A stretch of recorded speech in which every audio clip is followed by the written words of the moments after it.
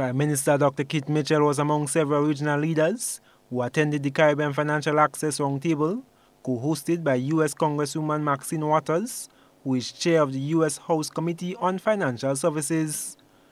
The proposal for an annual U.S. Caribbean Banking Forum was generally supported by those in attendance.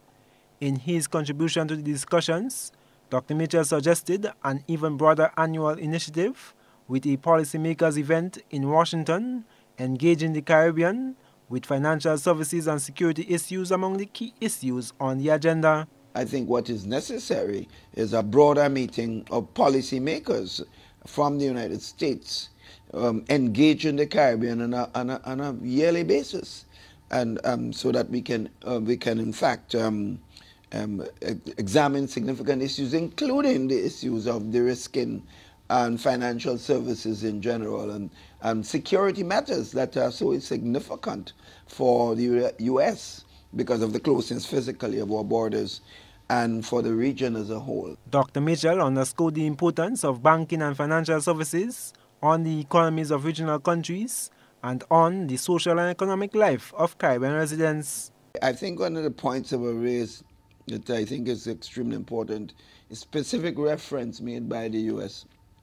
Virgin Island representative about how important is the question of remittances to the families in the region.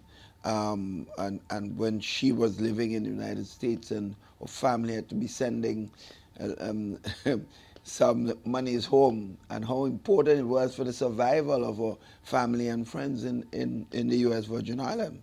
So, and that's the same situation with many parts of the region.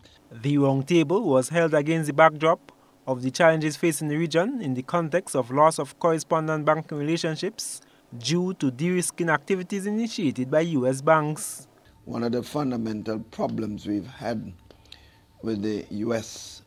authorities over the years is the fact that we claim to be close, physically and otherwise, but there's a, a perception of taking us for granted, where decisions are made and handed down, um, and which affect the life of the people of the Caribbean region, and not no consultation at all has been held, and um, and that sends a wrong message. The Caribbean leader and his regional colleagues complimented the U.S. Congresswoman for initiating the discussion and her general understanding of how decisions made by the United States can impact the governments and the people of the Caribbean. I am Gerard Joseph for GBN News.